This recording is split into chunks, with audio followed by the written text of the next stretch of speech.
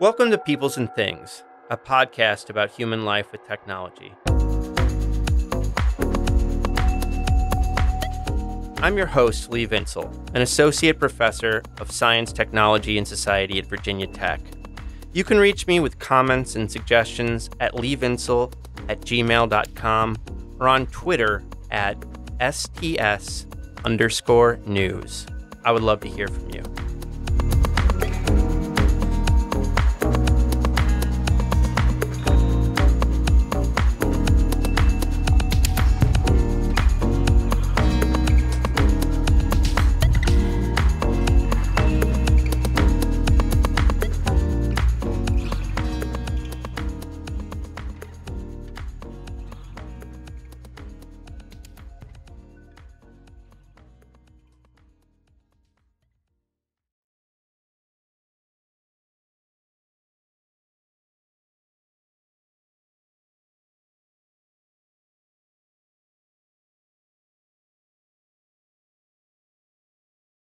There's a kind of myth that you find, especially in the United States and especially in libertarian circles, that there were some good old days, some golden glory years before government got its sticky regulatory fingers involved in business and technology.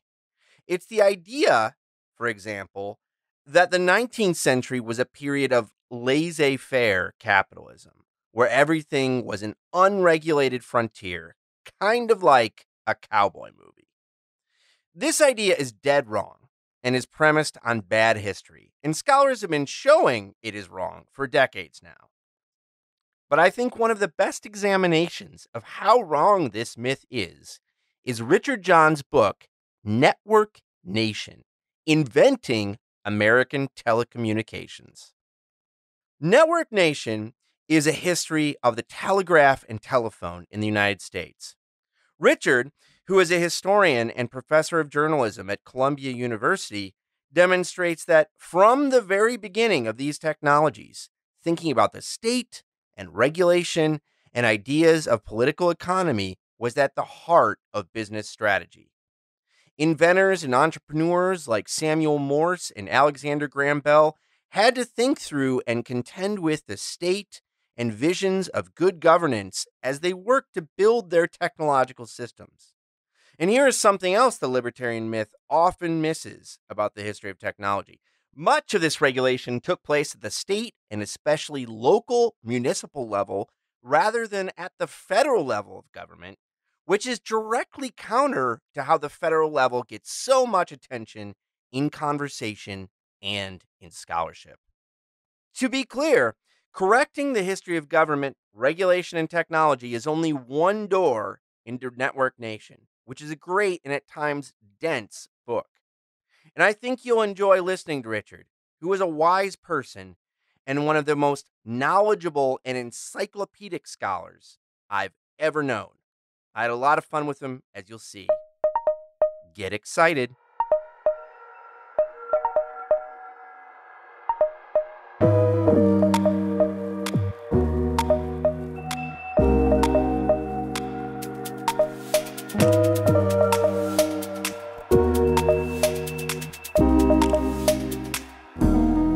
Richard, thanks so much for talking to me today. Well, thanks for inviting me. I'm looking forward to it. So, Network Nation is a is a big history of telecommunications, but when you when you talk to strangers about it, what do you what do you say it's about? I will tell strangers that almost everybody thinks about the telegraph and the telephone, which is what the book's about, backward from the present to the past. Whereas I try to tell the story of the telegraph and the telephone forward from the 18th century. So my the, the bulk of the book is 1840 to 1920. I'm telling the story forward rather than backward. And when you say that, is it when when when we go forward, is is it about the other things that could have happened? Is it about not seeing kind of where we ended up in that history? That's a great question. Um, it's not really a book about counterfactuals. We could have done mm. this or we could have done that, but it's yeah. how we got to a moment, the early 20th century, when we have an electrically mediated uh, communication network, telephony, which is by uh, the profession of the managers of the companies that run it meant to be accessible to everyone as a matter mm-hmm. of right and not a privilege. So, how did we get there? Mm-hmm. And we got there not because of uh, the technical attributes of the telephone, uh, yeah. not because of anything uh, intrinsic to communications, but because of governmental institutions and civic ideals, or to use a kind of ungainly phrase, political economy. So mm-hmm. it's, a, mm-hmm. it's a comparative case study where the contrast is not what could have been but wasn't. But the contrast instead is what happens when you have one political economy, what mm-hmm. they call an anti monopoly political economy, and that gives you the telegraph. You have a progressive political economy, that gives you the telephone. Mm-hmm. And I mm-hmm. trace three stages communication, uh, commercialization, popularization, and naturalization. And it turns out the sequencing of those three stages is different for the telegraph and the telephone. Hmm. Um, we could talk about that if you like. Yeah. yeah. Um, this might sound rude. I don't mean it to be rude, but there were a lot of books on, uh, you know, the history of the telegraph and the telephone, you know, that have been written over the years. I'm sure there's there's even histories that probably cover both of them, right? But mm-hmm. what did you feel like was missing when when you when you when you started this project?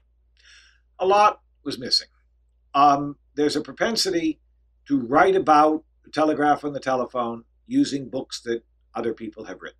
Mm-hmm. Uh, that's true for Al Chandler he wrote about the telegraph. That's true for Tim Wu when he wrote about the telephone. And both of them get the story really, really badly wrong. Hmm. Uh, and the reason they get it wrong uh, is pretty simple that there are archival records and primary source materials that they didn't look at. Uh, mm-hmm. In the case of Al Chandler, were not accessible. He followed Robert Luther Thompson's history of the telegraph. And Robert. Luther Thompson, and I can appreciate this, started in the 1830s he just got exhausted by the time he got to 1866. We wanted to get off stage, end his book.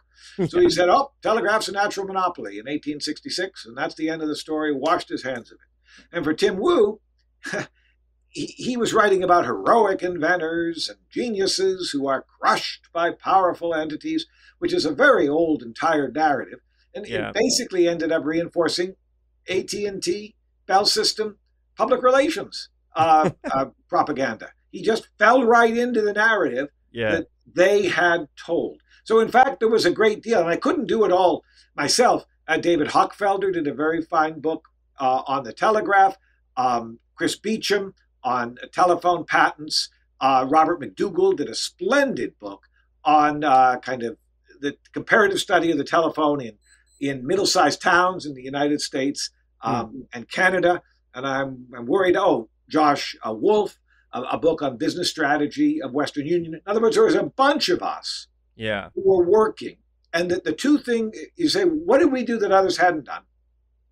The Western Union archives were open at the Smithsonian, and we worked huh. very extensively in those archives. And the AT&T archive in San Antonio, Texas, which had the records of the telephone operating companies, was opened when I was about halfway through the research. Initially, wow. I was kind of terrified, and and uh, I, I, was, uh, you know, I don't know, demoralized by the fact there's this archive as big as an airplane hangar that just opened up yeah. on telephone. but yeah. working in that archive completely transformed uh, the perspective of my book, as it did uh, for Robert MacDougall in his very good book, uh, The People's Network. Yeah, our two nice. books in some ways are complementary. So that that's a long answer to yeah. a short question. Um, no. if, if, you really care about what happened, as opposed yeah. to what PR uh, Flack said, you've got to read the book by the most recent generations. Otherwise, you're just regurgitating, yeah. um, you know, what the corporate moguls want you to believe. And I don't believe. I think there's a problem in history, kind of more broadly, right? That we come to rely on other people's narratives and mm-hmm. don't go back to the sources, and we find this over and over again. It's kind of a perennial problem. It really is. And you can't go back to the sources on everything. Yeah, I mean, exactly. I, I did write about two of the biggest organizations in the world over an 80 year period, and I tried right. to master, you know, corpus of primary sources. And that, that's a lot of work, but it was yeah. a team of us working on it together. And I did focus on a very specific problem, which was, in effect, how do governmental institutions and civic ideals shape business strategy. And I, I was there responding, I hope, in an appreciative way to my mentor, Alfred Chandler, who, who, who famously contended that business strategy shaped organizational structure within the corporation. And I contended that the political structure of yeah. the governmental institutions, civic ideals, of the political economy, as it were, shaped business strategy. So that that that was really the the main focus of that book. Though I tried to have a lot of you know a lot of people, a lot of stories to make it interesting for general readers who were willing to read a pretty long book about the telegraph and the telephone. Yeah. Uh, you know that was what you were just saying about kind of politics and and culture versus kind of the economics and technology. Something I wanted to talk to you about. So, mm-hmm. I mean, where were where was the state and political economy and regulation and these topics in business history when you came into the field in I don't know the eighties? Am I yeah. right? Yeah. I was editor of Business History Review for, for four years, May 3 to 87, and I worked with Al Chandler and Tom McCraw. And Tom McCraw, in fact, won the Pulitzer Prize for Prophets of Regulation when I was at Harvard. So mm. uh, you were not allowed to talk about the state um, in history departments at that time. That was considered verboten. And Theda Skocpol was a young Turk, and she was talking about the state. She was one of the first uh, really social scientists who was interested in my work. I'm very, very grateful to Theda, always always will be. So the, the model was really pretty simple that you had technology, which was this just yeah. force that was propelling itself through time. That was Chandler's basic insight. You know, you could see it in Marx, you could see it, um, you, could see it in Schumpeter. Yeah. Um, and then governmental institutions come in either to tidy things up or to muck it up. Uh, and, and, and I would put Tom Hughes in the muck it up category uh, historian mm-hmm. of technology. Um, if you look at Tom Hughes's work, for example, on electric power, uh, you have electric power stations, and then it gets in, embroiled in regulation. Yeah. Uh, and then it gets bigger, and then you know it gets embroiled in different regulatory arena. And I, I just don't think that's a sensible way to tell the story at all. But that was the way yeah. the story was told. Regulation, government uh, intervention comes in late, and there's always the claim, "Oh, technology is so complicated and so novel that the government yeah, yeah. can't possibly figure it out." yeah. So it, has got to be done. Uh, you've got to be ginger about it, and then outcomes are unintended. Mm. Of course, antitrust led to more consolidation. That was a claim that was made. So that was yeah. that was more or less the playing ground. Chandler says almost nothing about political economy in Visible Hand. And Tom McCraw's subject was regulatory agencies, but his great claim was the regulatory agencies can't do very much because they can't alter uh, this fundamental structure of an industry. And the fundamental structure is defined by technology and economics. Yeah. And one thing I tried to demonstrate in Network Nation is that's just not true. That's really fascinating. Um, my colleague here at Virginia Tech, Matt Wisnioski, has written about kind of the ideology of technology as oh. this kind of force uh, you know, kind of neutral force almost. And I, you know, I think that a lot of that generation of historians were very tapped into that kind of right. 50s and 60s ideology of technology. It was very built into their, um, you know, just their worldview, I think, and, and hard for them to see other alternatives. It, it goes back before the 50s. Um, mm-hmm. Veblen, uh, and yeah. Charles Beard. If you read Charles Beard's presidential address for the American Political Science Association, it is a uh, flat out Star Spangled Banner uh, pay and technological determinism. I was really startled yeah. when I first saw that. So it, it's a it, it starts in the really the teens and twenties. Of course, corporate public relations at Bell pushes it along, and then by the time you get to the 1950s, yeah, you know, it's it's just at its high tide. And for Chandler, and I don't think this is sufficiently appreciated. Emphasizing technology was a way of really tweaking the lion's tail. It was a way of criticizing the British uh, that uh, you know Second World War it was United States technological uh, virtuosity that won the war, and that yeah. Britain almost blew it. And and so there was a there was a political logic behind yeah. Chandler's um, uh, admiration for and, and and almost reverence toward the power of of mm-hmm. technology. Mm-hmm. It wasn't a narrowly uh, technocratic vision it was it was more like a, this is really the way the world works and if you don't believe that then you are are never going to understand modernity and i when i you know when i first read chandler right after it came out i'm the son of a rocket scientist um, who later worked as a policy planner, administrator, and R and D in federal government. Um, that made sense to me. A lot of American history was just about one damn presidential election after another. Mm-hmm. Um, or it was mm-hmm. about one, you know, cultural trend or one social group that was embittered and losing. But th- there was a sense that if you wanted to study what was central and what was important, that you needed to pay attention to what we now call technology. And and Chandler's Visible Hand just opened that whole subject up. Yeah. In, in like no previous book in American history. Yeah. That's a great point.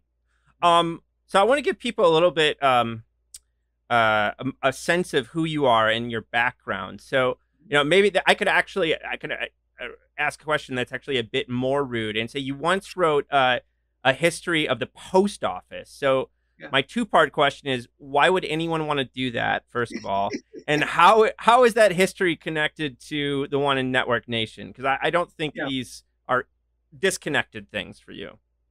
No, they're not. Uh, why would anyone write a history of the? It was considered by one of my uh, Harvard professors is the worst possible dissertation topic. yeah. Um, so that was that was something. I think that's by the way a good thing for dissertation writers to write about a topic that everybody thinks is a bad topic. If you have to explain to yourself and others why it mattered. But it was really yeah. pretty straightforward.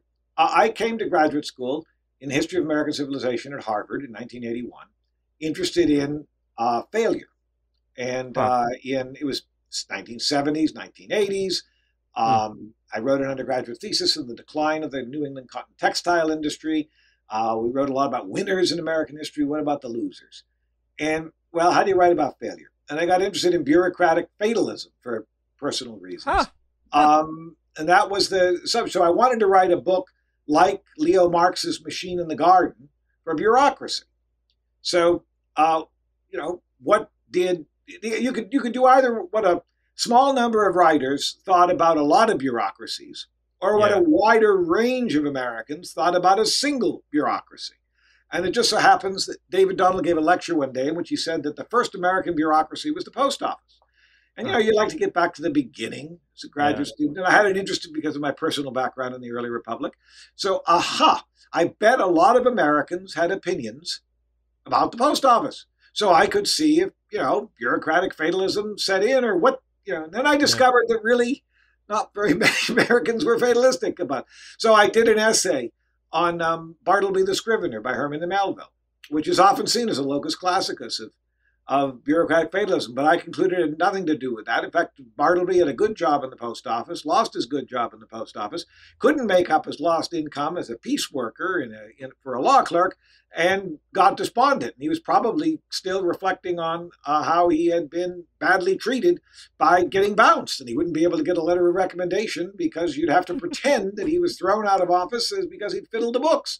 And that was the last I ever did on bureaucratic fatalism. Um, hmm. I decided, you know, and no, and uh, the essay is politely received, but I went in a different direction because I got very interested in how the thing worked, um, and, hmm. and, that was something that I hadn't uh, anticipated writing on because, after all, it's kind of hard. It's easier to write about what people thought about something than to yeah. write about how something actually worked.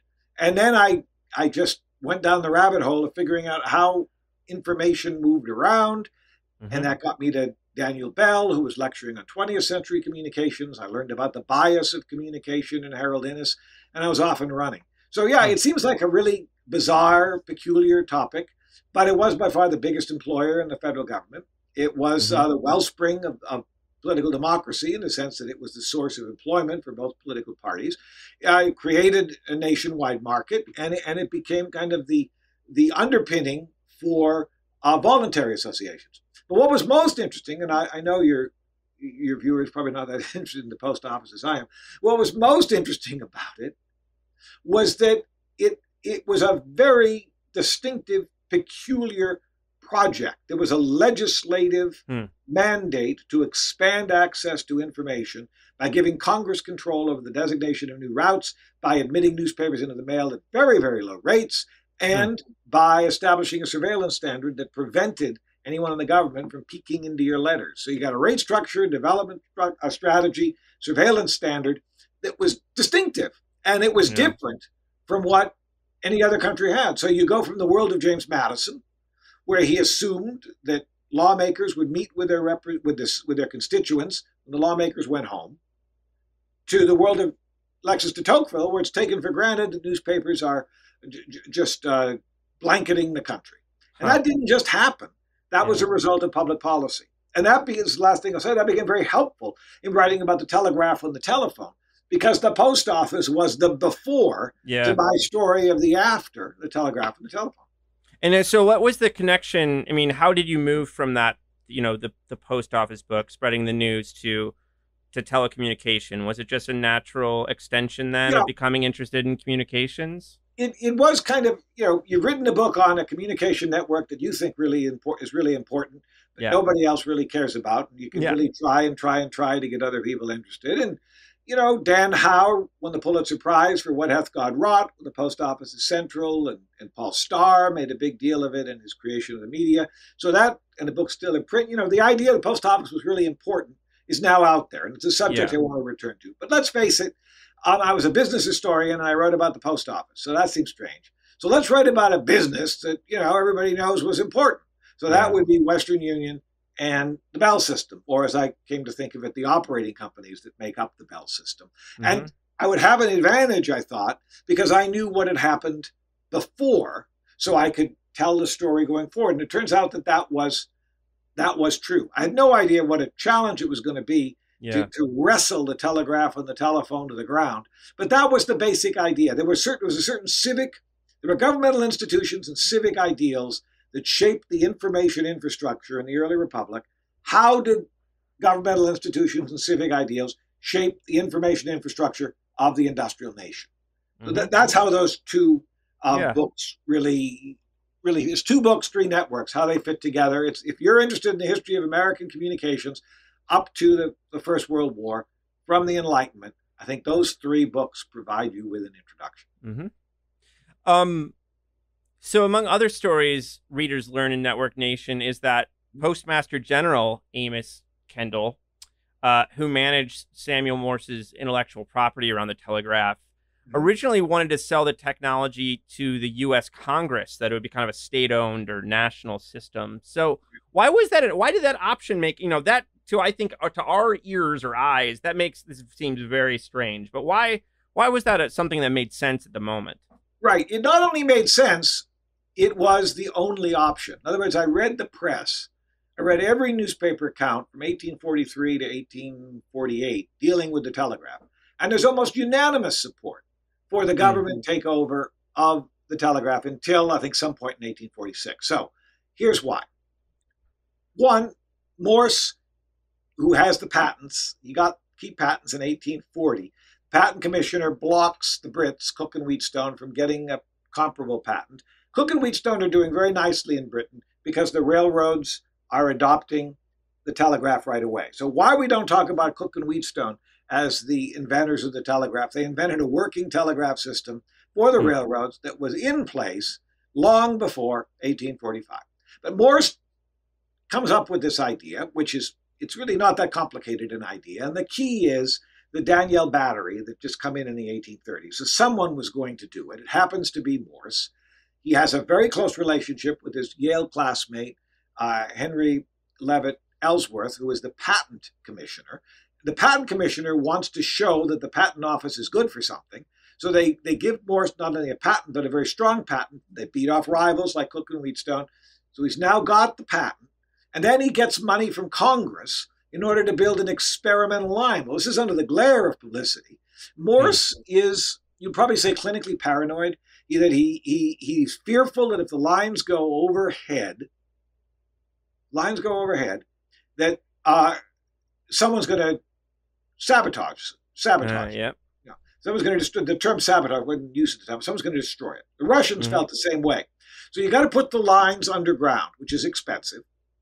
And then he had to. He hires this um, itinerant plow salesman, a fellow named uh, Ezra Cornell, because he knew how to dig ditches. Yeah. So they're going to put the wires underground. But to make a long story short, they barely get it done. Congress is not that impressed with it, uh, and they don't want to buy it out. But mm. you've got this ideological problem because Morse very much wanted to sell because he told the country that if private firms had control over the electric telegraph, that this would become a speculative bonanza. And Hmm. in fact, we need to run it like the post office because the post office was regarded as as as a, a sort of a fair uh, party. It it, Mhm. it was, and in fact, under uh, predecessor to the Postmaster General in 1845, uh, the government actually claimed, Postmaster General claimed that the government should circulate information on commercial matters so that it would be equally accessible to everyone at the same time, which is hmm. something that's kind of hard to imagine the government Yeah. actually doing. But they made that claim. McLean made that claim. So the idea that you're going to have speculation if the government doesn't own and operate the network was just taken for granted at that time, 1845. Mm-hmm. But then Congress doesn't doesn't go ahead. And then Kendall has got to figure out a way to commercialize it. And of course, he not only was Morse's business agent, as I think you said, he'd been former postmaster general. So his idea is to replicate the postal network Hmm.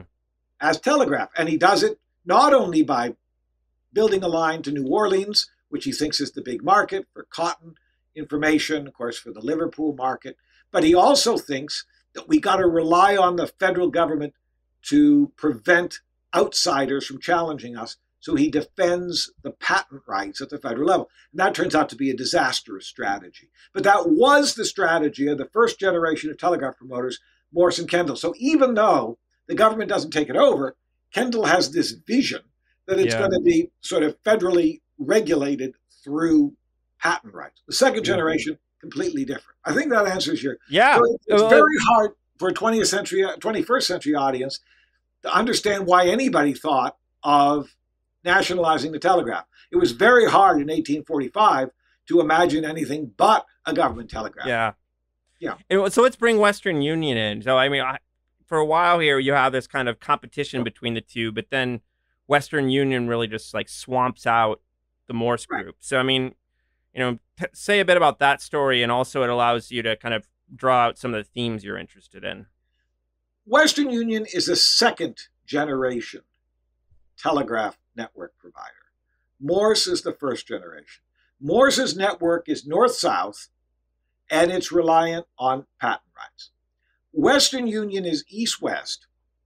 It doesn't start in New York City, though that's where its cap where its headquarters would be. It, it started in Rochester, New York. Hmm. You had merchants with a fair amount of money and they recognized the importance of east-west connections. Remember the Morse network originally north-south, east-west connections. They're thinking about the market for grain in Europe. So Mhm. instead of cotton, grain. Now, they recognize the second generation, Hiram Sibley among them, that it's very hard to prevent insurgents using patent rights. Morse had trouble. There were many other rivals. It's very difficult to control a market using patents. So they hit upon a different strategy.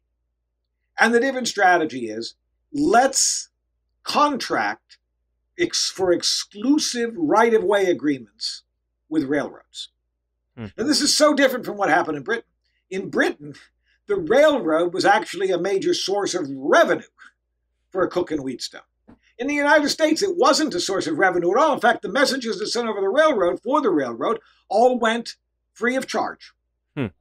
But what the telegraph company got was the exclusive access to the right of way, which is much, much cheaper Yeah. than having to string wires over open ground. Not only because string wires over open ground, you got to negotiate with a lot of people, but also if you string wires over open ground, how what are you going to do when the when the wires break? Yeah. You got to get someone out in the middle of nowhere, Pennsylvania or Ohio. Mhm. If it's if it's along the railroad, it's relatively easy to fix it. Uh, it's a it's a maintenance.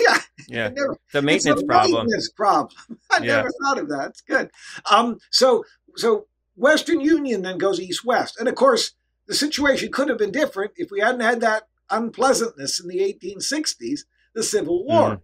It's not so good for north south telegraph lines during the Civil War. Yeah. The east west line, which went through you know territory controlled by the Union. Uh, for the most part, they have lines in the south, but it's basically an east-west spine.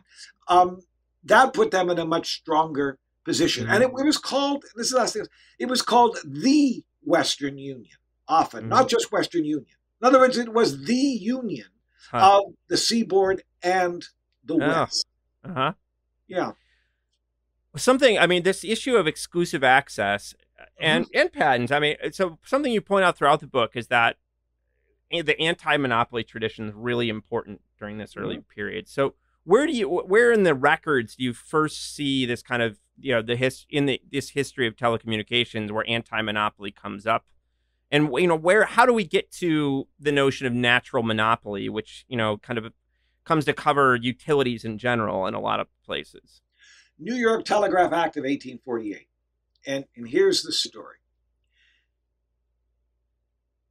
Samuel Morse gives the license for the first telegraph line to link New York City with its environs to a small arms manufacturer named Samuel Colt. uh-huh He gives it to Colt because he was impressed with Colt. Why is he impressed with Colt? Because Colt can blow up things in the water. He can blow up. He's Mm. a pyromaniac. He lies. It's called a torpedo. You have this wire between a ship and the shore. You you hit a lever, and the ship blows up. The torpedo is not something that, that moves. yeah The torpedo was something you attach to a ship. Now, what impressed Morse? Aha!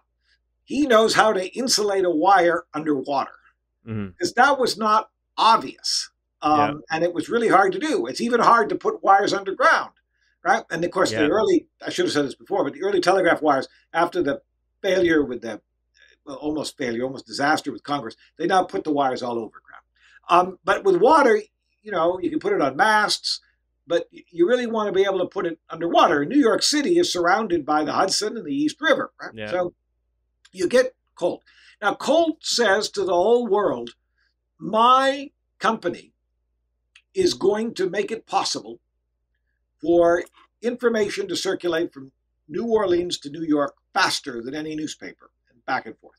So therefore, he says all the newspapers are going to go out of business. That the hmm. new technology, he doesn't use the word technology, but this new Yeah. device is going to make the newspaper obsolete. They're going to have to, going to have to, and journalists said the same thing. We're going to have to fill our newspaper with philosophical disquisitions. you know, the, the telegraph has done us in.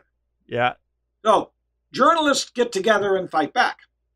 I, I, I present this as a problem to my journalism students. What would you do if a new media emerges that's undermining your business model? and then they sit around and try to figure out what you know. What would they do? You know, Yeah. you can you can badmouth them. You can you know you can. Uh, but they say no. What you want to do is try to change the law. change the law. And so, how do you do that? Well, Brooks, who was one of the editors. Oh, I skipped a step. Sorry. The first thing you do is you form an association. And the association was the New York Associated Press. And that's an association that protect the collective interest of your newspapers. Okay. One of the members was James Brooks, who was an editor of the of the New York Express. So he goes to Albany for one session. This is not well documented, but it's during that one section, one session, that they enact the New York Telegraph Act of 1848. And you, you can infer that Brooks has something to do with it, because it's certainly a pro New York City newspaper law. Why? It makes it very easy for new telegraph companies to get access to rights of way, which is to kind of break the uh, break the, the monopoly of Morse. You can't do anything really with patent law, but it also provides preferential rates and access to the newspapers. And what the New York Associated Press then does is it becomes the certifier for financial information. In other words, if you get financial information in a New York Associated Press paper, you're not going to be subject to some kind of speculative scam, fake news. You, you're going to be free of fake news. New York, so you got to buy our newspapers, and that's how they gain control. They also start investing in the Telegraph, but it's not just a matter of investments; it's a matter of weakening patent rights Mm. And getting preferential access. So mm-hmm. that law, New York Telegraph Act of 1848, modeled on the New York Free Banking Act of 1838, is an anti-monopoly law to hmm. encourage new rival, and it does.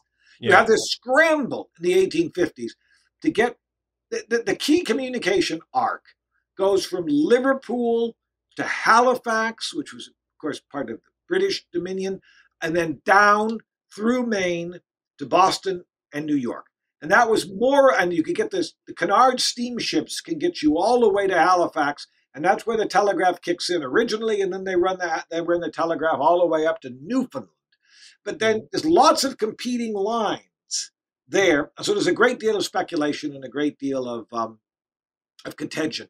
And that's a direct result of the New York Telegraph Act of 1848 and the sister acts that follow it. And the, the, the final anti monopoly act that shapes the telegraph is well, there's two of them, but the, the, the, most important is the National Telegraph Act of 1866. And Chandler and McCraw don't say a word about it. It's missing from huh. the history books. Um, and, and in fact, Robert Luther Thompson doesn't talk about the National Telegraph Act. He just, you know, they, he just assumes that it's a natural monopoly, which it most certainly was not. And yeah. interestingly enough, and this is very well documented, the godfather of the National Telegraph Act in 1866 was an Ohio congressman named John Sherman, hmm. who is the same fellow who we give credit for the Sherman Act of 1890, which really he didn't have much to do with in terms of its final form. He was certainly active in Congress debating it. But the 1866 Act is an anti-monopoly act, and it has it has it's a remarkable piece of legislation. You have to agree to its provisions in order to take advantage of what it offers. Okay, so it's contractual. What are its provisions? Well, you have to agree that Congress can buy you out within five years. Huh. The committee of five, one chosen by the companies, one uh, two chosen by the companies, two chosen by uh, the government, and the fifth may be chosen by the other four. In other words, a mechanism.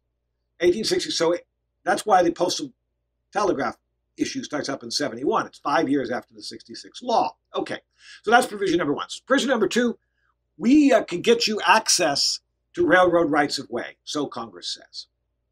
Turns out it doesn't work out as, as, as easily as they would hope. But every telegraph company, including in the end Western Union, signs up. Western Union doesn't want to sign up for reasons I want to I want to talk about in a minute. The third provision is that the government can send its messages over the telegraph at very, very low rates. And that's probably the most consequential because you know what that creates? That creates the institutional infrastructure for weather reporting. That weather reporting is very, very expensive. But if the government is, in effect, footing the bill, by, well, by, is, is the government footing the bill? No. The government is forcing the companies to send the information at low rates. The government, in effect, is establishing the rate yeah. structure. That's what I mean to say. Um, that that then makes it possible for the signal service and eventually the weather bureau to circulate information. And the companies don't like that at all, but it, it happens. Yeah. And then beginning in 1871, Ulysses S. Grant reads the law, of course, the government should nationalize the telegraph. It's what happened in France. It's what happened in Britain. It's What happened in every yeah. civilized country. We should we should nationalize the telegraph too. And then there's a battle over the nationalization of the telegraph that goes on, uh, well, for the next almost next 20 years. And then there's another second provision known as the Butler Amendment that comes about in 1879. But the National Telegraph Act should be as well known as the Interstate Commerce Act of 1887 or the Sherman Act of 1890. But it's not mm-hmm. because, mm-hmm. following Chandler and McCraw, we always assume that regulation is reactive instead of being constitutive. And it's constitutive. Mm-hmm. It's there right from the beginning. And I could, well, there's yeah. a lot there's a lot more to say about the consequences of the National Telegraph Act, and it bears directly on the kind of blockbuster inventions of the 1870s that um, you know you know so well. But I'll, I'll stop there so, and let you ask another question. So, so um, you know, you have this history, you know, at this point, you're talking about a 20 year history of anti monopoly laws, basically, mm-hmm. right? Mm-hmm. But it's only like a couple years. I mean, this is like, you know, it's in the 1870s or something that this natural monopoly idea really developed. So, like, how do how do we get from this this strong anti-monopoly moment to this idea that you know these utilities, you know, and including communication systems, kind of have a so-called natural monopoly? Great. So you'll let me tell my story. That's good. Yeah. Um, the concept natu- of, of, of, natural monopoly is popularized in the 1880s by Richard Ely, 1887. Uh, Henry Carter, Abbott, Carter Adams, it's about the same time. That's when you first see it. And the concept of a freestanding public utility In other words, a water company is a public utility, emerges mm-hmm. after the Panic of 93. So let's get us now from 1866 to 1881. Those are the key dates. Well, I've said we got the five year period, government ownership, 1871. Now what happens? Well, you're going to get bills in Congress for the government to take over the telegraph. You're also going to get reformers who say, well, no, we don't want the government to take over the telegraph. We want to have a rival company, a postal mm-hmm. telegraph company that will make the telegraph accessible to ordinary people, as Western Union was not. Western Union was for the 1%, the post office was for uh, for the multitudes, right? The post mm-hmm. office and not Western Union was the Victorian internet. Okay. But here's what this is what's so ingenious about this as a historian. You've got a law that says that after five years, from 1871 on, every company that signed on to the National Telegraph Act can be bought out. That includes Western Union. Western Union signed on, I am convinced, because they were fearful that they were going to lose property rights, their property in the South, because under, recon- under congressional reconstruction, the status of property of out of state corporations was uncertain. Okay? So even Western, so everybody signed on. So that's the game. Now, there's a speculator named, and he, he was a speculator, and that's how he made his money, named Jay Gould, who recognizes that if an industry is structured very much by government regulation, political fiat, he can make a lot of money. That was true for the Erie Railroad. That was true for gold after the Civil War, and that was true for telegraph, because it is structured by this anti-monopoly law. So how can you make a lot of money? Well, Gould figures it out.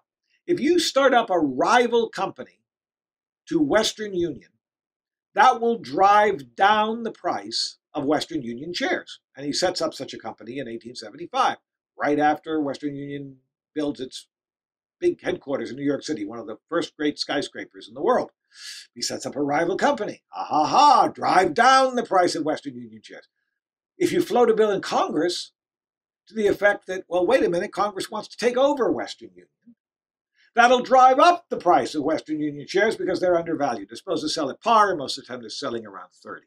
So all you have to know is which way is the market going to move. Doesn't yeah. matter which way it moves, you can make a great deal of money. And Gould does. Hmm. William Orton, who is the president of Western Union, is a very capable guy. He was the son of a bookseller. He He'd helped raise taxes during the Civil War. He's a hard driving businessman who dies of apoplexy trying to save Western Union in the midst of this controversy. He then enters into a bidding war with Gould for technical devices that will improve the efficiency of the telegraph network provider. So you've got now Gould versus Orton fighting over what we today call intellectual property. And there are three guys who get into this contest. One of them is named Gray, Elisha Gray. Another one is named Edison, Thomas Edison, the Thomas Edison. And the third is Alexander Graham Bell, the Alexander Graham Bell. And they're both inventing devices to sell either to Gould or to Orton, either to Western Union or to Gould's rival company shell company. Uh, and out of this comes four blockbuster inventions in very short order. First, you get broadband telegraphy, send four messages over a wire called a quad, or maybe even more. First two, then four. They really started with four, and that was one of Edison's big uh, breakthrough inventions. Second invention that comes about, once you start experimenting with multiple messages, you know, multiple telegraphy, you begin to think a little bit about sound and transmitting sound over wire. And that's where Alexander Graham Bell and Edison come together to in, invent what would be the telephone. Now, there's other people involved with the telephone, but they're at the center of this because their patents then become very lucrative. So you got the broadband telegraph, you got the telephone. You've got a crippling problem with the telephone that's recognized immediately by Edison, and that is, is that the telephone does not record. Now, it turns out, what do we say today? That was a, a, feature and not a bug for Bell. they didn't want they didn't want the telephone to record. It turns out, uh-huh. but initially Edison said it'll never be credible for business purposes if it doesn't record. So he invents a recording device, which would become eventually the record player or sound recording. You know, it wasn't a record at the time. So, and then the fourth that comes out of it, Edison makes so much money. His first 20 patents, certainly the first 15 patents, are all telegraph related. Makes a fair amount of money, invests it in his uh, research and development lab, and comes up with the electric power station.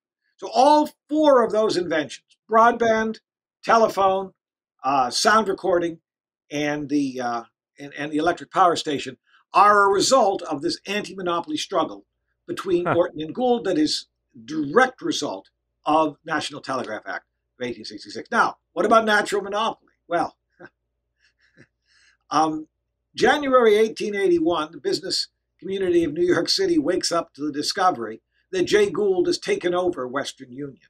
And, and boy, oh boy, was that a shock because he's a rival, he's an outsider, but now he's assaulted the temple. And what's he going to do? Is he going to speculate in Western Union? Is he going to speculate in other shares? Is he going to use his control over Western Union in order to, uh, in effect, manipulate? It's the same sort of concerns we have about Amazon today using the information it gathers against yeah. others. These were the arguments that were made about Jay Gould in 1881, and that set off a new series, a much more intense series of, of public controversies and debates over postal telegraph, which culminates in 1887 with Ely declaring that the telegraph is a natural monopoly. The reason he declared it a natural monopoly was not because of anything technical about the telegraph, it's because so long as it's a political football, it's going to be a speculative darling, and that that's bad. It's going to be corrupt. So, in effect, by calling it a natural monopoly, you are getting it out of politics. It's not necessarily as a major technology, but if the government takes it over, which Ely believed it should, it'll be less political. We don't have to think of that this day. Today, if the government takes something over, it'll make it more political. No, he said it'd be less political because they all saw how corrupt the telegraph politics was because of the ease with which you could buy up lawmakers at the federal and state level, manipulate patent rights, and in effect, um, in effect, distort markets. That's how we got natural monopoly. That's great. I, I love the um, rundown, Richard. Um, I want to turn to telephones now. I mean, I feel like this is a, a good place to do it. And um, you know, one thing I I really appreciate about Network Nation is that you know, whereas other earlier histories of telephones are often focused on the Bell system mm-hmm. and, and long distance phone calls. Your initial focus in the story is really about cities and in, in localities. So, what do we get by focusing at that level instead of like this higher system level? Great question. Um, virtually all the literature had been about uh, Bell system and nationwide, and that in part, uh, or not in large part, is because that's how Bell sold itself. It was a public relations strategy to mm. identify the company with transcontinental telephony, with well, the vacuum tube, with the miracles of modern science. But the, the transcontinental telephony was absolutely irrelevant to profits or business strategy at Bell. Um, and I, I, just put it in as strong terms as I can. MacDougall and I both agree completely about that. And it's been so distorting that we haven't understood that. The big money in telephone was in cities. Mm-hmm. And uh, cities uh, were pretty dense. In Chicago, around 1902, I was just writing this somewhere else, the average length of a telephone call was about 3.1 miles or something. I've got the detail in. In, in other words, this mm-hmm. is this is a, you know, you could hire a messenger. I mean, this is yeah. local. Now, in the cities, right from the beginning, the companies are regulated because you have to tear up the yeah. streets and you have to put wires overhead. So rights of way become absolutely critical. So you have the you have this dynamic that if you get a right of way, then you have to give something. And what you have to give is access over maximum rates or access mm-hmm. over certain kind of privileges for this group or that group. So they, it's politically contested from day one. There's no anti-monopoly moment, but there is a progressive logic in that the companies are supposed to perform better, if only to prevent the managers from being extorted by the city alderman. Because if you're in a city like Chicago or New York, and yeah. you can, in effect, shake down the telephone company every time they want to move into a new district, you that's a that's nice work if you can get it. And that's what happens in New York and Chicago and many Yeah. other cities. And that is so obvious to the telephone companies. Um, Right. they are being extorted. And, and they Machine also, politics are politics too, Richard. yeah, very much. Um, and and that's out of that's the the setting out Yeah. of which the companies. And then I make this kind of counterintuitive argument about Chicago, which is my case study. The records are best for Chicago. There's the most debate in Chicago, um, and I happen to be living in Chicago. Yeah. So um, in the 1890s, this fellow Angus Hibbard becomes the general manager, and he repudiates his predecessor, Charles Norman Fay. Charles Norman Fay basically said that if you don't like our telephone service, just go somewhere else, go away. You know, no one tells Marshall Field what he can charge for his goods. We're going to charge whatever we want. This is a guy, Charles Norman Fay, who ended up the last 30 years of his life living in the Harvard Faculty Club, regaling the, uh, you know, the East Coast uh, uh, twits with stories about his his wild days in Chicago. All right, so he doesn't believe the telephones. He just it's going to be a business. We're going to run it for these guys who can afford it. Yeah. And these guys are, you know, they're just uh, plutocrats, and of course they can Yeah. they can pay for it. He, he at one point he gave an address in which he called the telephone users knights of labor. In other words, they were kind of radicals because they were complaining about the company. And that was considered to be so insurrectionary that a lot of editors printed it wrong intentionally. But anyway, that's a digression. So you've got the old world with Charles Norman Fay and the new world with Angus Hibbard. And Hibbard, he's the kind of guy who likes to invent songs for the telephone company officials to sing, you know, or Oh, wow. Chicagoans to sing. And he really Yeah. believes in esprit de corps. And he wants to make the telephone more accessible. And Yeah. he wants to make it more accessible in part to create a political bloc that can successfully challenge the alderman. Yeah. There's a political calculus here as well as an economic calculus because expanding the size of the network is very expensive. You get more people Mhm. using the network, and then your call connection delay is going to increase. hmm And if your call connection delay increases, you're going to have an awful lot of ha- unhappy, awful lot of unhappy users. But he's willing to do it. And he, he goes up against the city council to shift from flat rate to measured service. Flat rate makes it virtually impossible for ordinary people to get access. And they experiment them with something very novel, well, which we, well, you no one's heard of it anymore. There used to be something called a pay telephone.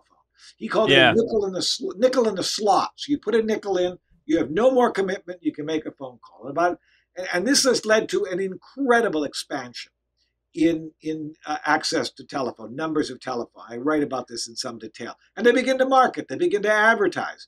They, So- they begin- yeah. So that's think that- a political strategy to expand the network. Yeah.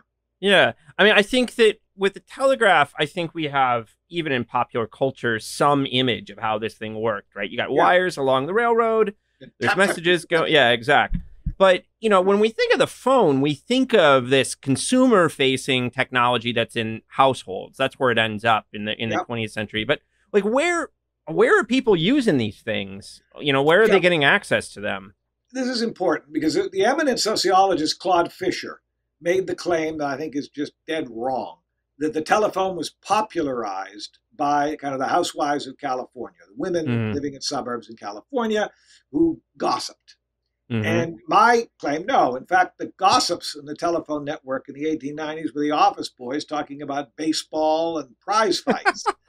and that they were working in the exchanges where you had the problem because those were the congested downtown exchanges. There weren't any women Mm. in those congested downtown exchanges, and they certainly weren't gossiping. And remember, Mm. you could only have one person on a line at a time. So you're going to get a lot of unhappy users yeah. if they're long calls. So they they try to demonize the office clerks, but that kind of pisses off the bosses who are paying the bills. So then they go after women for as Mhm. gossips. But the, even there's not even that much discussion of women because they're not in those downtown districts. So it's a it's a it's it's it's jobbing lumber. It's uh, to get information about uh, about uh, market trends. It's, Yeah. it's it's instrumental. That's what that's where they saw the money was. And the trouble was though the way it was set up, they don't have any good way to keep somebody off the line Yeah. it, because it's, it's a flat rate. So then they shift from flat rate over to um, measured service, where they where they charge by the call, And that's important because there's another just absolutely essential fact about the telephone that may not be obvious. Uh, wasn't obvious to me when I started, which is that every single telephone before the First World War, every single telephone call in the Bell network, which was the dominant network, which is the big city, they control the big cities, New York and Chicago. They have competition in Philadelphia, but New York and Chicago control those two cities. Every single telephone call has to be connected by a human being, which is mm-hmm. a, a, telephone operator who's a woman in this on a switchboard. Um, and and you can imagine as this network gets bigger, your arms have to get longer, and it's harder to put those wires. You have to physically link wires together. Um, and with off off on telephone calls, that's a that's a problem. And and so that's how it became popularized. It wasn't driven by consumers. Mm-hmm. It was driven by politic a political calculation in order to challenge the alderman. And and the, mm. the, around 1900, that's a convenient year, 1900, new new new um, century. Um, around that moment in time, the telephone companies in Chicago and New York will claim access to telephone is a right and not a privilege. So that's the first electrically mediated communication huh. medium to be uh, reconfigured for the entire population instead of an exclusive clientele. No one at Western Union ever said that. Hmm. No one. So unless you have that perspective of what was before yeah. and what was later, that moment is, is just as important as the early 2000s, really, hmm. for for the social media, internet. That was the moment. Now, not everybody had a telephone. No. Yeah. Right. But the, the presumption was that access is to be a right that anyone in the city can get some kind of access to telephone. Mm-hmm. Before we kind of go on to talk about AT and T and universal service, I wanted to ask you. I mean, you know, a big uh, idea that's been very hot for the last couple decades is disruptive innovation and yeah. disruption and all these kinds of things. You know, new technologies come and blow the old ones out of the water. So I imagine when the telephone came around, it like instantaneously killed the telegraph, right? no, not at all. They were in they were in complementary markets. I mean that by the First World War, the revenue of the telephone finally equals the post office. That's the 800 pound gorilla. Western Union never has revenue more than a third of the post office, but they were seen as complementary. In fact, think of the name uh, uh of the acronym AT&T, the name of the company, American Telephone and Telegraph. Great vision of Theodore Vail, who was the president of Bell in uh, 1910. Uh, his vision was that we, he bought up Western Union the year before, that we are going to have low cost, short distance telephone messages and low cost, long distance hmm. telegraph messages. So the two are going to work together. And that interlinking of telegraph and telephone, he called universal service. I don't know, it's like Facebook and Messenger coming together, yeah. right? And then the, the Supreme Court said in 1914, no way, you gotta, or, or they have a they have a quarrel, and Bell gives up the telegraph, so it loses it loses its T in mm-hmm. 1914. Never got its T back. So they were complementary, different services. Now, the telephone was not only a consumer service, but the telegraph was not a consumer service. They try mm-hmm. with singing telegrams and that sort of thing. it's never, yeah. it's never yeah. really an important part of the telegraph market. Whereas the telephone had to serve these different markets, and eventually the telephone will overtake Western Union. Mm-hmm. But remember, Western Union is still linked with the overseas cables, which is where mm. all the mm. price information is coming from, right? So that, yeah. that gives Western Union a, uh, a lifeline. There's a second company called Postal Telegraph, too. That gives them a lifeline. So, no, the new innovation does not immediately disrupt and destroy. You can think of what happened with Samuel Colt. He thought the newspaper would be obsolescent. It wasn't yeah. obsolescent. They, they don't. The new media tends not to destroy the old media. They tend to work symbiotically together. One of the few that's ever really disappeared is the telegraph, which I think had it. I think the last telegraph message was somewhere around 2000. But no, they tend yeah. to work together and the disruption is as much a byproduct of politics and culture as it is of technology and economics. Amen. Um, so, you know, at, at, this point, when we talk about Vail and we, you know, Vail really does start to stitch together these different mm-hmm. Bell systems and, and, you know, creates what we think of as the Bell system in in, Yep. in a lot of ways. Where where has the monopoly tradition gone by this point? You know, I mean, this is the the, the early 20th century moment is when antitrust laws are you know a big deal. The anti-monopoly tradition seems to be going really well, but it doesn't seem to have you know sunk its teeth into this. So what what happened? Well, make a long story short, Vail came out of the post office. He'd been the superintendent of the railway mail service, and he greatly admired the post office. And he never believed in competition. He Hmm. wanted to have one integrated network providing what he called universal service. And by 1907, inside the big cities, having nothing to do with Vail,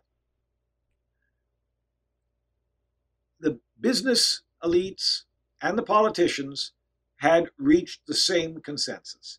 We should have just one telephone operating company in a city. So by 1907, the possibility of vigorous competition in the telephone market, in my view, is finished. Robert MacDougall has a somewhat different rendering of this. You can compare the two books. 1907. And the, the idea was, and by the way, there were hundreds, if not thousands, of non Bell operating companies. And there were some big ones. Uh, uh, Buffalo was a non Bell company, uh, or there was a big non Bell company. Rochester had a non Bell company. Um, Iowa, uh, Nebraska, Lincoln, Nebraska had one of the most successful. So you got you got the two you got rivalry between them. But after 1907, it's very difficult for the independents to get financing, and that Hmm. is the reason, the rationale for the antitrust suit against Bell that ends in 1914 with this settlement. I think it's 1914, 13, 14, with a settlement that um, has been misleadingly called the Kingsbury Commitment because the historians let Bell Public Relations tell the story. Year after year, people repeat the Kingsbury Commitment. It's the McReynolds settlement. It's the Attorney General, the same guy who broke up Standard Oil and uh, American Tobacco, or he'd been in, involved in those two Mm-hmm. suits who who forces Bell to disgorge Western Union. So you have separations between Mhm. telephone and telegraph with the McReynolds settlement. Now that does not end the pressure for hostile regulation of Bell. There's a big government ownership movement, and the government briefly takes over Bell in the First World War. But Bell wises up. They invent corporate public relations, as Roland Marchand shows. They invented a whole new uh, genre in order to convince the world that they are technologically innovative, that they're going to be the best steward of the public will. They're going to be just like the post office. And by the way, we invented vacuum tube and trans, especially transcontinental telephone. They didn't Mhm. really focus on the vacuum tube in their advertising, Hmm. but we are the best steward of public welfare. So, and, and we're not a private enterprise. And furthermore, shareholders are not. A, we want lots of shareholders. They'll get a they'll get a, a set uh, percentage, but they're not going to be in charge. We're not going to run this like Jay Gould. We're not going to Yeah. have any melon cutting. There's going to be no big dividends for Mhm. the insiders. In effect, the shareholders and the investors are cut out of Bell, and the management takes over in the First World War. And that is the, the moment at which managerial capitalism, in my view, is born. And that's very different from Al Chandler, who said it was with the railroads in the 1850s. It's born, managerial capitalism is a response to a political crisis caused by the anti monopoly movement of the progressive era. That, that's Hmm. putting it, you know, Yeah. in, in very schematic terms. But that's what happened. And Bell Yes. avoided it. Mhm. Um, And then you get the Bell system and, you know, the whole history of the 20th century telecommunications. So, I mean, after this book, you you have turned to a, a big history of anti-monopoly thinking in the U.S., right, going all the way back. And I feel like you know, in many ways, your your career has kind of pointed towards that the whole time. I think from the post office through this book, uh, you know, anti-monopoly is such a big topic. So, so what what is that looking like these days? What's what's the plan here? The plan is to ask the question what did certain Americans, I'm not going to do all Americans, there's too many Yeah. of them. What did certain Americans think about monopoly in the Enlightenment, then several points in the 19th century, and then probably right up through the 1950s and 1960s? And Okay. the, the argument looks like this. Uh, let's just go to the progressive era, because that's what I've done the work on so far, as I said, the early 20th century. For the founders, the monopoly that loomed the largest was not the East India Company, but it British commercial monopoly. It was the mm-hmm. British government, and, yep. and that and once we were when we were under the control of British under their yeah. umbrella, that was great. But suddenly we right. were not. That was a big problem. Mm-hmm. So the British commercial monopoly, and that fighting the British commercial monopoly will lead to debates over the tariff. And, and then the argument was we don't want the British to undercut our producers because they pay their workers terribly because they're all starving in hovels. So we've got to keep our uh, you got to keep our uh, level the playing field by keep the tariff rates up. Yeah. All right. So that's the first current. The second current was, and that's one that's not well known to historians at all. It's been a big, big surprise, but it has all kinds of implications. The second current emerges in the 1840s, and it goes back, well, it goes back to the English Civil War, which is that ordinary people should have a right, God given, to what they need to establish a competency or, or, or autonomy. And, and what do they need? Well, they need land and they need education. So there's the second anti-monopoly movement focuses on land. And it's a mm-hmm. remarkable chapter in American history that goes from the 1840s, uh, well, right up to natural debates over natural resources in the progressive era. We mm. uh, Theodore Roosevelt, you do not will will say you do not want private land uh, owned by the government. You don't want land owned by the government with mineral mm-hmm. rights to be privatized because mm-hmm. that's going to be a monopoly of some of, of some. That was what the Pinchot affair was about, the Ballinger Pinchot affair under under Taft. Will the Guggenheims and the Morgans get control over coal reserves in yep. Alaska? No, they shouldn't. So that's that's the land arc, and then mm-hmm. the third arc is this is just a progressive era because the book's going to go further. Um, this is what I've been working on. The third arc is the more familiar story about industry. Yeah. Um, that, that begins with well the state antitrust and then Sherman. But the, the point not Sherman Act, but what I'm trying to make the point I'm trying to make there is that it's nothing to do with consumer welfare, consumer security. Yeah. That the goal is instead to promote a certain vision of a moral economy in which you have competition. And if you don't have competition, yeah. you have regulation or ownership. Mm-hmm. And, and and and that's Lippmann and Brandeis are two of the figures I'm writing about, and they're not as different as you'd suppose because mm. the idea is we're going to control monopoly. In the mid 19th century, with the land issue, the idea was we could contain it. If we do not have monopoly in land, says Henry George, is a major figure, a neglected figure, political economy. He was the most read economist, perhaps of all time. Um, if we can contain it, if we can tax the landlords, then we'll eliminate monopoly. And of course, for the founders, for John Adams, the goal was we've got to find a way to contest it. We've got to mm-hmm. keep monopoly overseas. We've got to keep it out of our out of our hands. So that was the arc. But all three of those movements, um, I, I, don't like to call it a single tradition, visions, if you will. Mm-hmm. How should we have a what? What should be the good society? All three of them presuppose that monopoly is fundamentally a political question. And in the 20th century, you're going to shift to it being a technical issue. Yeah. You're also going to shift to a focus on the government becoming the monopoly mm. and not the corporation. Um, now you have special privilege, admittedly, in the early republic yeah. land, but there's a there's that second shift, and that's a shift then that occurs with the rise of um, well, there's a lot of things that happen in 20th century. It's about bureau. It's it's your first paper on Bartleby, right? It's right. it's the worry about bureaucracy and you know, you really have bureaucratic. this really bureaucratic fatalism kicks in in a big yeah, way. Yeah, exactly. Second World War, and that that's right. I hadn't thought of that. That transforms the debate over monopoly. And, and yeah. Ayn Rand is involved, and Bork is involved, and yeah, yeah. Marxists are involved. a whole different group of people thinking about monopoly in very, very different ways. I know you got to go in a second, but I wanted to just ask you quickly. I am I right that you're a part of the group that's trying to kind of raise questions about mon- monopoly and antitrust now in the states?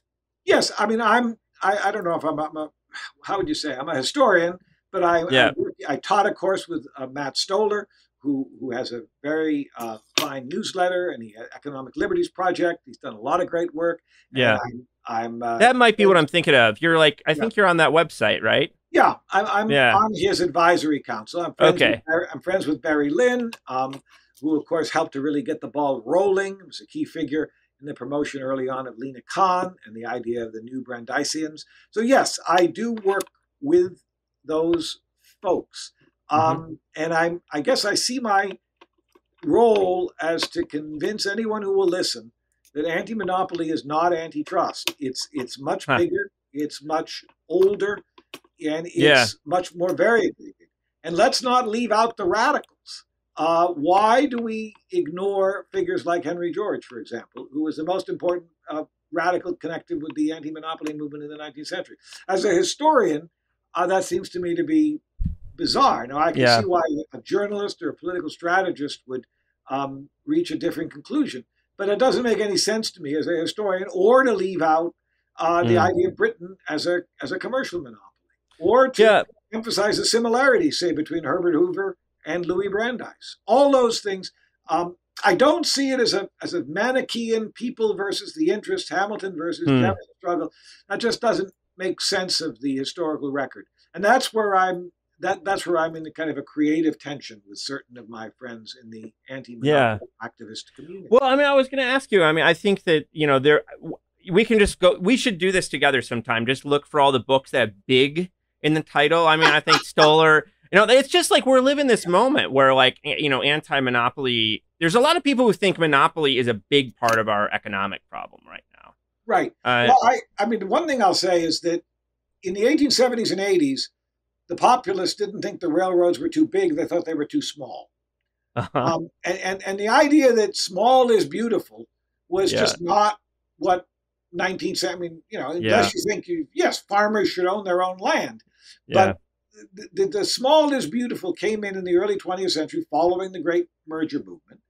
And it you know brandeis will say i'm not opposed to bigness i'm opposed to monopoly. And and, yeah, and wilson says the same says the Right. same thing. And if it's efficient it can be big. But they did Yeah. have a conception of large scale enterprise playing within rules. They believed it should be segmented.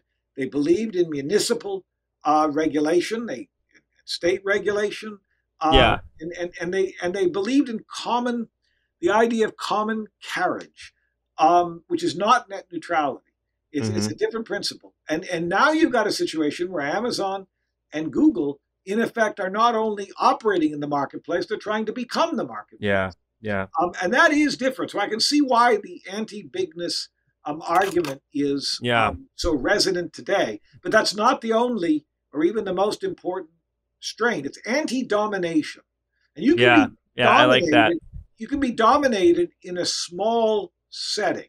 Yep, Women, for example, concerned about men beating their Mhm. wives. sure. That's a monopoly issue. That's a domination issue, but it's not a big business issue. So Yeah, I, I just wish my friends in the anti-monopoly activist community would, would see this as a bigger, more important, Yeah. more consequential issue than they're inclined I'm with you.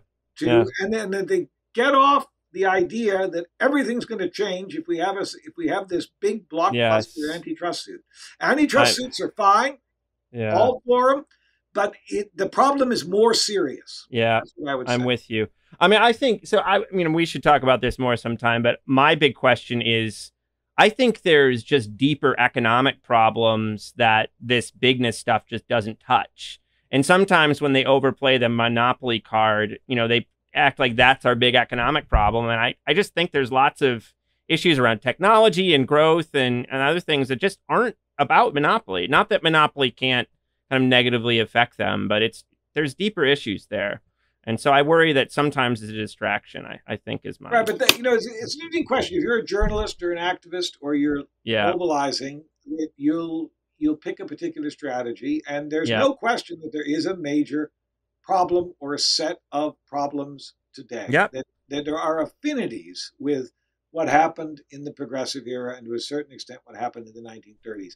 But yes, my inclination is, is this is a much more serious problem and that in fact we've thought about monopoly, which is what I'm writing about, much more creatively than we do today or have, um, in, at least certainly in the in, in the recent past, and that we we need to educate uh, ourselves, uh, Mm. students, and lawmakers about the embeddedness of economic activity in political regime domin- and which shaped by governmental institutions and civic ideals. You cannot escape that. And if you do create a world in which the corporations are uh, more or less independent players, then we're right back to the Middle Ages and the Imperial and Imperium. Richard, there's no better way to wrap it up than right there. Right back to the Middle Ages. Yeah. Thank you so much for your time today, Richard. This was this was as great as I thought it would be. I really enjoyed it, Lee, and I, I, I would say that I'm so impressed by your work, and I'm going to be teaching the maintainers this fall in the graduate course. Thank you.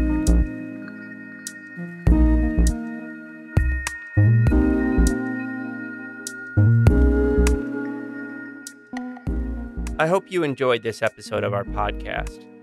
Peoples and things, like most things in this world, depends on the work of many people. I want to thank my brother Jake Vinsel for writing the music for the show. I want to thank my buddy Juliana Castro for designing the logos for the podcast. You can check out her work at julianacastro.co. Peoples and Things is a production of Virginia Tech Publishing and the University Libraries at Virginia Tech. Production activities are supported by the Athenaeum, a space in the library that acts as a hub for digital humanities teaching, learning, and creation. Joe Ford is the Athenaeum coordinator and digital humanities specialist at VT Libraries, and he serves as producer and sound engineer for the podcast. For information about other podcasts from Virginia Tech Publishing, visit publishing.vt.edu. I also want to thank you for listening. Thanks.